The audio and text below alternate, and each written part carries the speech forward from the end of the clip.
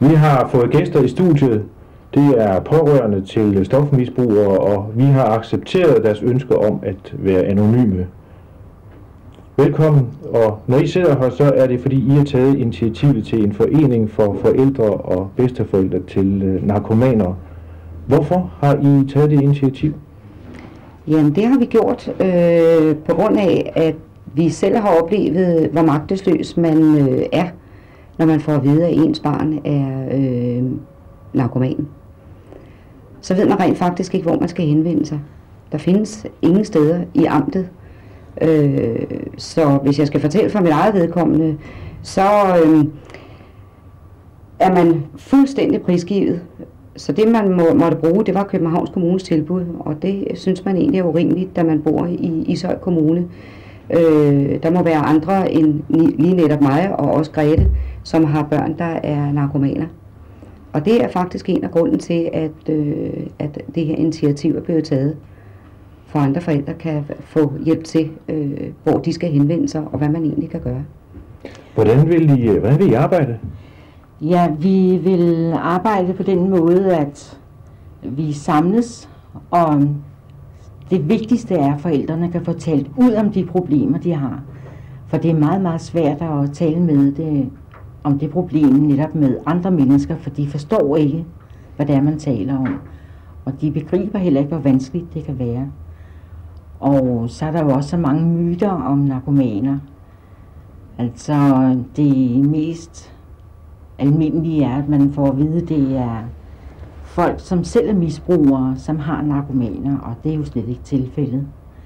Det er alle muligt, det kan ramme alle steder, og de fleste af dem, jeg kender, det er normale mennesker, som går på arbejde, passer deres job, og de har flere børn, og det har jeg også selv. Og det er kun det ene barn, det er ramt. Så det er ikke noget, der følger hele familien, og resten af familien er som regel helt okay. Ikke? Men hvordan vil I øh, rent praktisk gribe, gribe opgaven an? Jamen, vi vil gribe det an på den måde, at vi starter vores første forældremøde den 17. Øh, og det gør vi i samråd med Kurt Bøsted, eller Kurt Bøsted har øh, hjulpet os frem til det her. Øh, og det skal foregå på den måde, det skal være hyggeligt, og det skal være rart at komme der, og det skal foregå en gang om måneden, øh, hvor vi kan sidde og slude og, og øh, med hinanden over en kop kaffe eller en sodavand, og et stykke vinerbrød, så det bliver rigtig hyggeligt. Øh, og man skal ikke være bange for at komme, øh, fordi vi står sammen om det her problem. Alle, der vil, vil dukke op, er anonyme. Øh, vi lærer hinanden at kende, og det er jo frem for alt det, vi skal gøre. Men man skal komme ud af busken, for ellers så er det ligesom, kan man sige, så, så dør foreningen, hvis øh, folk ligesom er bange for at komme. Det er der ingen grund til. Vi skal lige sige, at uh, Kurt Bøsted er Ishøjs uh, Kommunes SSP-koordinator, ja. og ja. Han, han er trådt ind og, har, og hjælper jer med at starte den her forening. Ja, det, ja. det gør han, fordi at uh, Kurt Bøsted er sådan set den, uh, jeg har rettet henvendelse til, for at høre, om det her kunne lade sig gøre. Og hvis uh, ikke han havde hjulpet, så tror jeg aldrig nogensinde, at det havde været muligt at starte det her op. Men det er en hjælp til forældre. Tasima, for hvis skyld øh, starter I den her forening? Er det for narkomanernes skyld, eller er det for, øh, for øh, forældrenes skyld? At det må, vi må jo sige, det er begge deles. For, for det første, så har vi nogle erfaringer efter så mange år med en narkoman i familien. Så vi kan lære dem at takle nogle problemer. Vi kan lære forældre, hvor de skal henvende sig, hvis der, de kan få deres børn i behandling. Og øh, man kan ikke sige, at det er kun for forældre. Altså det er jo forældrenes børn, det i sidste række gælder. Hvad forventer I at, at få ud af det? Vi forventer at få øh, det ud af det, at øh, andre forældre og øh, bedsteforældre kan få et mere afklaret forhold til, hvad en narkoman er. Også det, det vigtige i at støtte forældre til narkoramte børn er utrolig vigtigt øh, fordi man ellers vil gå langsomt i stykker, og det tror jeg, der er mange forældre, der gør.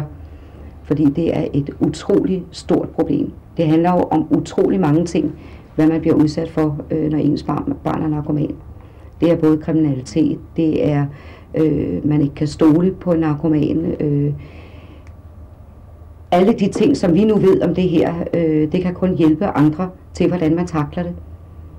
Og jeg kunne da godt forestille mig, at når vi engang har fået øh, rigtig øh, snakket ud om det, at vi så kunne få kommunen til at gå ind i nogle behandlingsformer, muligvis også for forældrene, eller i hvert fald for forældrene, som måske har brug for noget psykisk, øh, psykologisk hjælp. Øh, det vil jeg tro, det er der mange, der har. Der er nogen, der kan klare sig ud af det selv, men det er der sandelig også andre, der ikke kan. Nu kredser I meget, og meget naturligt selvfølgelig, omkring stofmisbrugerens familiære rammer. Ja. Øh, er der nogle myter omkring, øh, omkring de, de øh, familiære rammer? Ja, det er der. De, jeg har været, før i tiden har jeg været til nogle foredrag, og der så lød det nærmest til, at forældre til narkomaner, det var sådan nogen, der sad på ølkasser nærmest. Og det eneste, de foretog sig, det var selv at gå ud og drikke, eller foretage sig nogle andre uskyldige ting. Men sådan er det jo ikke. Det er jo, det er jo noget, der kan ramme alle unge. Og jeg vil ikke sige, at det er en bestemt type mennesker, der gør det. Altså det er mange gange for sjov, man prøver det, og man prøver det sammen med venner. Og de venner ser jo til synligheden meget, meget godt ud. De har jo prøvet det flere gange, og der sker jo ikke noget, vel? Så derfor sker der jo pludselig en hel masse ting. Og lige pludselig, så er det jo ikke dem, der tager stofferne. Så er det stofferne, der har taget det. De unge. Og så er problemet der. Men så er det jo for sent, for så er han jo blevet narkoman. Eller hun. Hvordan, øh, hvordan opdager man egentlig, at ens barn er blevet narkoman? Det opdager man kun, hvis, hvis øh, det kommer øjne på, om de bor hjemme, eller om de ikke bor hjemme. Men jeg tror, hvis øh, et, de ikke bor hjemme, så er det utrolig svært at finde ud af. For min piges vedkommende, der boede hun, hun boede ikke hjemme. Og det var noget med, når man kom på besøg, så gik et besøg egentlig utrolig hurtigt. Man havde da også en fornemmelse af, at hun egentlig ikke havde det så godt men man kunne ikke øh, sætte noget øh, endelig på, hvad der egentlig var, der var galt. Men øh, pludselig en dag, så sker der jo det, at de ikke kan klare det selv mere. Og så kommer de og siger, jeg har et problem. Jeg er blevet narkoman. Og det er utrolig svært for en mor øh, at forstå, kan det virkelig være rigtigt det her? Og hvad gør man så? Man kredser rundt om sig selv. Man kan gøre det i flere dage, inden det virkelig er gået op for en, at øh, man har rent faktisk et barn, der er narkoman. Og man skal ikke forvente, når man har fået sådan en chok, at man får nogen støtte øh, nogen steder fra. Fordi det får man ganske enkelt ikke, fordi alle andre mennesker ved så lidt om det, så de viger fra problemet. Øh, og det er derfor, at man skal hjælpe hinanden, dem der har øh, narkomaner. Ikke? Men når så de er gået til bekendelse, så er det jo om at handle. Og hvad gør man så? Og det skal man være utrolig dygtig for at vide, øh, hvad man egentlig skal gøre ved det problem. Og det er der, det er der ikke hvad gjorde du Jamen, jeg gjorde det, at øh, jeg kontaktede redden, da jeg fik det at vide. Fordi der øh, havde jeg i hvert fald en idé om, at nede på Handetorvet, der var der mange øh, piger eller drenge, som gik rundt og var narkomaner. Og de måtte da vide et eller andet om dernede, hvad jeg skulle gøre. Øh, det råd, de gav mig, det var, at jeg kunne kontakte Klub 47 i Københavns Kommune øh, og høre øh, om, hvordan øh, jeg, eller hvad jeg i det hele taget kunne gøre. Og det gjorde jeg. Og så fik jeg en indbydelse til en forældreaften og jeg husker meget tydeligt, da jeg øh, skulle derud, at jeg sne mig hen ad husmuren og tænkte, puh, hvad er det nu for noget, du skal op til? Hvad er det for nogle mennesker? Er de ligesom dig, eller, eller hvad? Øh, det var de. De var fuldstændig ligesom jeg selv var. Og øh, det gjorde mig utrolig rolig at være sammen med nogle mennesker, som jeg kunne få snakket med, øh, der havde samme problem, som jeg selv havde. Det, der var det farlige ved det, det er, at øh, jeg vil da tro, at mange familier kommer ud i skilsmisser. Øh, jeg tror da også, at søskende bliver øh, ladt lidt i stikken, fordi man nu bliver så fokuseret på at hjælpe narkomanen, så man egentlig glemmer øh, det andet barn, man har. Og det er utrolig svært. Så det er en hel familie, der skal samles op på en eller anden led.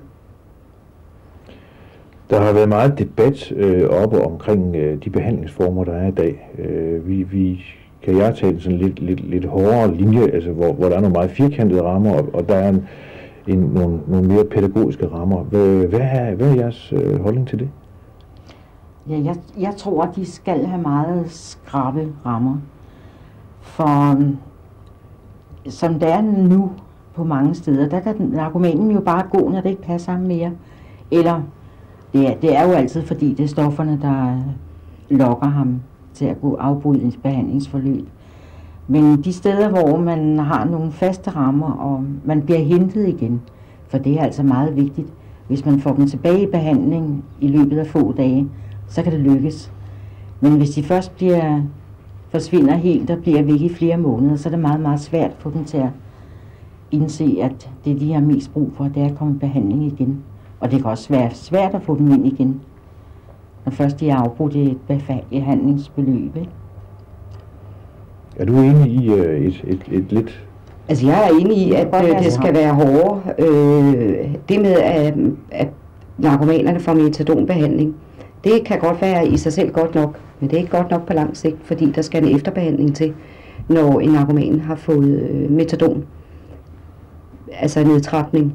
Og der er det, at øh, man, man svigter, øh, og det kan så være politikerne, og det kan selvfølgelig også være det er også kommunerne, der ligesom siger, at jamen, øh, det er selvfølgelig et problem, men det koster utrolig mange penge.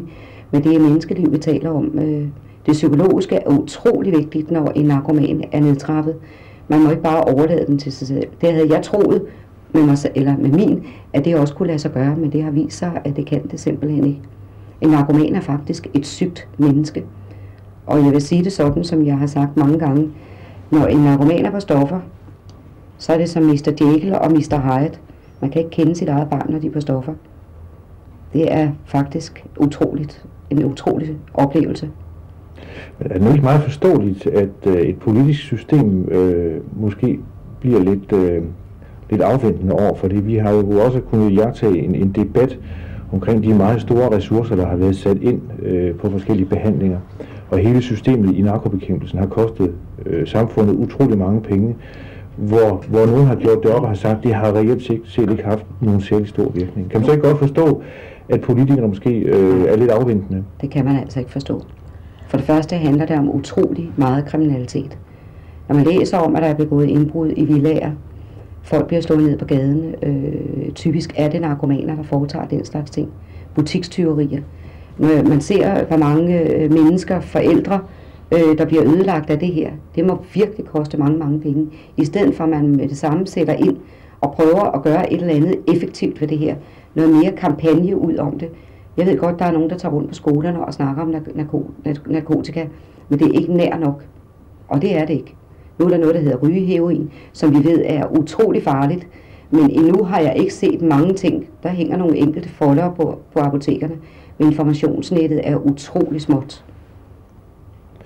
Kommer der nogle tidspunkter i, uh, i et, et, et forældreforløb, hvor man, hvor man oplever det her, hvor man siger, nu, nu, nu, nu er der ikke så meget mere at gøre egentlig? Eller bliver man ved med at kæmpe? Øh, jeg har kæmpet for, ja, det bliver jeg jo sådan set ved med, men øh, som det er nu, der har han haft et forløb på næsten 20 år. Og han er på metadon nu. Og det, det er ikke nogen god idé at sætte ham i behandling mere, fordi han kan ikke klare det mere. Og han har haft for mange nederlag og for mange skuffelser. Så når han får det der metadon hver dag, han henter på apotek, det holder ham jo også rolig, og han er fri for kriminalitet. Så det, det har også nogle, nogle virkelig gode ting med sig i baghånden, men man skal ikke gøre det, før alt håb er ude om et bedre liv gennem en behandling. Din oplevelse er en anden? Jeg mener en helt anden, for jeg har ikke på noget tidspunkt øh, opgivet, øh, og jeg bliver ved. Øh, og øh, vi er nu kommet i den heldige situation, at min skal nu øh, på Egeborg, og øh, jeg ved ikke, hvor meget man kan glæde sig, men øh, jeg er da meget øh, glad for selv, at, at det nu sker det her, og håber på øh, om et års tid at se min, min datter på en helt anden måde, end jeg ser hende nu. Hun skal have sin livsglæde tilbage. Hun skal lære at leve uden stoffer. For når man hører øh, sit barn sige, det er ikke mig, der går ned og, og køber øh, heroin. Hvem er det så? Mine ben, de går. Og det er utrolig svært for andre mennesker at forstå, at man kan blive trukket så meget af stoffer. Men, men når vi andre, som måske ryger, tænker, øh, vi, nu tager vi lige en smøg, tænk hvor svært det er at lade være. Og det andet, det er altså 10-15 gange værre. Det skal man lige have sig for øje, at det er, det er svært. Men hvis man ikke man står sammen med sit barn om, at det skal lykkes, det skal man. Det kræver kærlighed, det her. Man må ikke svigte sit barn frem for alt. Og jeg tror, hvis man lader være med det, så tror jeg, at det kan lykkes. Jeg håber det selv. Og det vil sige, at der kan være mange forskellige oplevelser på, på den Det samme kan der problemstilling være, ja, i, i virkeligheden. Og, Ja. og det er jo også det, der ligesom sætter en fælles nævner for, for jeres forening. Ja, det Ja. er der. Held og lykke med den. Ja, tak skal du have.